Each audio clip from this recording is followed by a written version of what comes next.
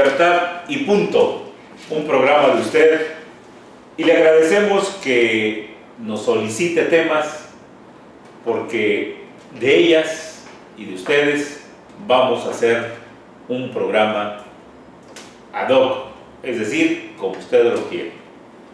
Nos han solicitado que reflexionemos, que hagamos un análisis sobre la reforma financiera y la reforma fiscal. Con mucho gusto atendemos la sugerencia y próximamente, Ángel, estaremos viendo estos programas, pero sí les pedimos que nos den tiempo porque todavía el escenario no está concluido. El secretario de Hacienda, Luis Videgaray, ahora hace unos días en la reunión internacional de Davos, Suiza, pues declaró que ahora en febrero se va a dar a conocer un programa para efecto de la reforma fiscal, de la reforma financiera y de esta manera completar lo que hasta el día de hoy sabemos. Con mucho gusto estaremos con usted, estaremos analizando estos temas para ampliarlos si es de su agrado todo lo relativo a la fiscal y a lo financiero. Ángel, muy buenas tardes, ¿cómo estás? Buenas tardes Miguel, muy bien, pues aquí estamos listos con el auditorio. Me, comentabas un punto de temas que tienes de que la gente ha solicitado. Vámonos jerarquizando, dándoles preferencias, dándoles actualidad y con gusto iremos sacando poco a poco esto, esta baraja de, de, llamadas que has tenido, de inquietudes del pueblo y sí lo vamos a, a ir avanzando. Claro, y es nuestro objetivo porque libertad de punto es la voz de la sociedad. La voz que en otras partes no se escucha, aquí se escucha, aquí se atiende. Ángel, el día de hoy hay un tema que ha ganado espacios en todos los niveles políticos, en la propia sociedad, con los jóvenes que nos han comentado, quienes también hacen sus programas aquí en y.com sobre la relación política que se ha establecido en los últimos días entre el Comité Ejecutivo Nacional del PRI y el gobierno del Estado. Damos un pequeño antecedente, Ángel. Históricamente, en el PRI, la nominación de delegados especiales delegados regionales, delegados estatales, son del comité ejecutivo con el propósito de establecer una comunicación entre los priistas del Estado con los priistas del Comité Ejecutivo Nacional.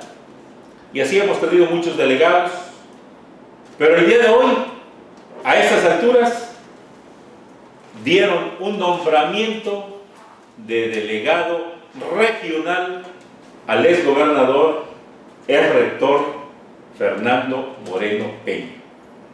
Como usted sabe, con palabras propias del gobernador, que la relación política entre Fernando Moreno, el nene, mejor conocido, y Mario Anguiano, gobernador del estado, ha sido una relación muy ríspida. Ha habido enfrentamientos pues en la prensa, de manera directa, y no cayó muy bien que Fernando Moreno venga al estado de Colima a organizar, a preparar, a darle, como tú dices Ángel, ya una inducción al proceso del 2015 y eso ha desatado una gran polémica. Bueno, no cayó bien a alguna autoridad, algún político porque para el pueblo, al pueblo le gusta que Fernando Moreno haga política.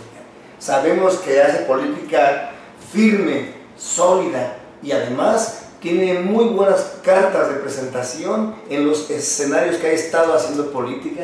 Ha logrado el PRI importantes triunfos y mucho más cuando se designa hoy porque tenemos un presidente priista, un presidente nacional del PRI, que cosa que no ocurría con el PAN, en que nombraban delegados sin mucha representatividad. Y hoy Fernando Moreno tiene alas del centralismo y del poder para hacer muchas cosas en Colima. Ciertamente, como lo mencionas, no cayó bien a algunos políticos, incluso se le planteó al gobernador y él todavía con la frase textual que dice, bueno, Fernando Moreno no hubiese querido que yo sea gobernador de Colima.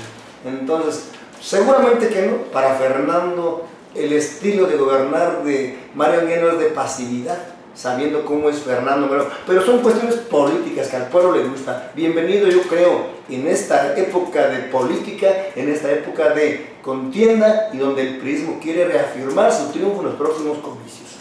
Fíjate, Ángel, que los comentarios se han suscitado también, ampliando tu razonamiento muy aceptable, es ¿por qué Fernando Moreno genera polémica al interior de los grupos políticos?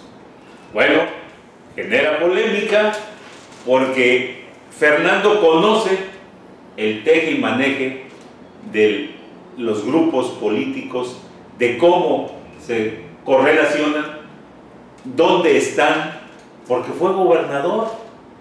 Entonces a un gobernador no le gusta que un exgobernador venga a organizar a las fuerzas militantes del Partido Revolucionario Institucional. Siempre vienen delegados de otros estados, que vienen que son figuras decorativas, son figuras que al nombrarlas, lo primero que dicen, venimos a sumarnos al esfuerzo de los periodistas. Y Fernando, pues vendrá a sumarse, pero también viene a sumar a su equipo y a su grupo político. Yo no creo que esté divorciado el sentir político de un exgobernador, de un ex rector, de un exdiputado como Fernando Moreno, que también como delegado ha estado, como tú lo mencionas, en diferentes estados donde han eh, tenido comicios electorales, y ahora aquí en Colima. Entonces esta división, vamos a llamar así, con todo respeto, esta división del priismo en el gobierno y del prismo fuera del gobierno ha causado malestar. Porque decir que las reglas no las va a imponer Fernando, pero como dice, pues tampoco el gobernador, las reglas las impone el PRI, que es en la esencia de los partidos políticos, de acuerdo a sus estatutos, nominar, de acuerdo a las reglas, a los candidatos. Pero aquí hay un paternalismo, aquí hay una, un tutelaje que dicen, quien va a decir cuáles van a ser las reglas, voy a yo. Y eso está mal. Fernando no es una monedita de oro, es una persona polémica, es una persona que le gusta enfrentar y yo creo que en la actual administración lo que menos se ha buscado es el enfrentamiento. Pero para viendo los priistas, tú lo dices también, que la sangre no vaya a llegar al río, porque los que vamos a sufrir somos los ciudadanos colimenses. ¿Sufrir en qué aspecto?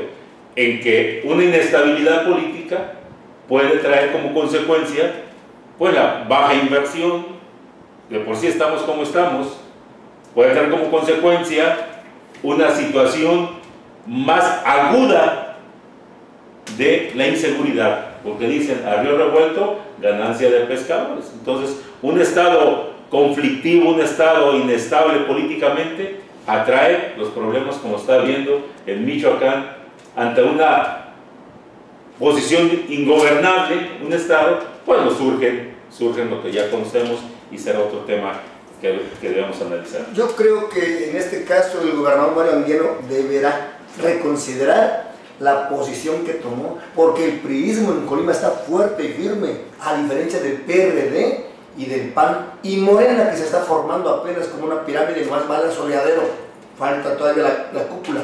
Entonces en Colima el priismo por tradición ha tenido el poder siempre, y, al delegado eh, regional y al gobernador sobre todo no les conviene llegar a fricciones y llegar a situaciones que va a empañar y aturdir el ambiente político cuando el PRI en Colima es la primera fuerza política por tradición, ¿eh? entonces no le conviene. Yo creo que el gobernador debe reconsiderar y hay que recordar Fernando Moreno Peña es una persona cuidadosa en cuestiones de política y de buen gobierno, cuando dijo aquella vez que no votaba ni estaba a favor de Jesús Orozco Alfaro ni Socorro Díaz Palacios, porque nunca habían hecho nada en bien de Colima teniendo tantas posiciones políticas. Defiende entonces don Fernando Moreno al pueblo de Colima, a la trayectoria y a la obra pública que Colima merece, donde él también vive y donde él ha formado parte de esta herencia política del Estado. Pero fíjate Ángel, yo no he escuchado, disculpen si mi ignorancia llega a ese nivel, al presidente del Comité Directivo Estatal del PRI, al famoso Tamacuas. No ha entrado al escenario. Y esto deja mucho que desear, porque es el primer presidente del Comité Directivo Estatal en el Estado. El primer PRI dicen que es el gobernador. Bueno, un partido que llega al gobierno, indudablemente que tiene la identidad, pero los militantes del partido tienen un presidente y ese presidente es a quien se le apoda el Tamacuas.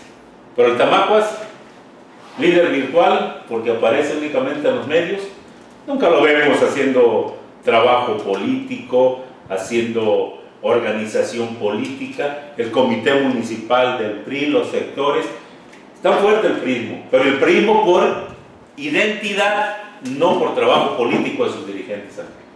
Y eso es lo que debemos de ponderar muy bien. El gobernador, el gobernador le conviene la estabilidad política.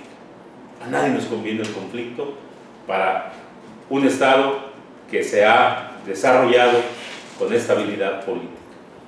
Pero bueno, ese es el calentamiento que ya inicia en este periodo que viene para la elección de los candidatos. Así que, ¿qué, auguras? ¿Con qué te quedas en, esta, en este pequeño eh, en, entre que se han dado entre el PRI nacional y el gobierno del Estado? Porque no estatal. Bueno, qué bueno que lo mencionas. Ciertamente, en, el PRI, el presidente del Comité Directivo Estatal es en este momento una figura de corrupción. No es político, no tiene colmillo político otros están haciendo y él está dejando hacer y dejar pasar. Están metiendo la mano a su canasta y les están, le están comiendo el mandado. Y en cuestión política es un riesgo. Le falta autoridad, le falta ideología y le falta iniciativa propia al Tamacuas para que haga valer su poder político, ya que de él depende mucho la próxima contienda y el triunfo del PRI. Y en, cuestión de, a nivel nacional, sí, a nivel nacional el PRI tiene un padrino y el padrino despacha los pinos, quieras o no, deberá de pasar por el dedo del Dios terrenal la decisión próxima para el gobernador de Colima, porque el presidente de la República quiere hacer equipo de trabajo. ¿Qué pasa con el PAN en el poder? Llena de delegados federales a todos los estados para que le cuiden la espalda y le sirvan de coladeras. Ahora, ¿qué pasa con el, los, los priistas? El presidente debe de llenar de priistas convencidos y de convicción al país para que le sirvan de soporte en cuestión política tan cuestionada hoy la política nacional y de los estados de la República. Pues por último, que para cerrar este tema tan importante, lo único que nos queda decir es cuatro estados que tienen al nuevo delegado. En tres ya tomó posesión. Falta uno, que es Colima. Y no se dicho nada. Ojalá y que esto no venga, insisto, a generar un problema y no se le dé oposición en Colima, porque también se puede dar, ¿eh? O sea, no se ha dicho, el presidente del PRI lo ha dicho, tenemos nuevo delegado regional, tenemos una figura del Comité Ejecutivo Nacional y estamos preparando para dar el evento de posición de Fernando Moreno Peña. No se ha dicho. Todavía no está en el calendario. ¿Estará en el ánimo? Si no está en el calendario, ¿estará en el ánimo del PRI estatal? Esto y otras preguntas que quedan en el viento, seguiremos analizándolas porque usted debe estar bien enterado. Recuerde que no hay camino a la libertad, la libertad es el camino. Continuamos.